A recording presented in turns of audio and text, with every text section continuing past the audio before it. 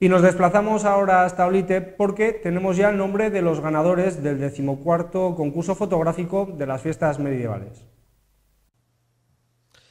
José Luis Zubiri se ha hecho este año con el primer premio con la obra Descanso y Calma. Javier Yarnoz ha sido segundo con Bufón en la corte y Reflejo de la fiesta de Pablo García ha completado el podio en un concurso al que este año se han presentado 17 fotógrafos con más de 70 obras.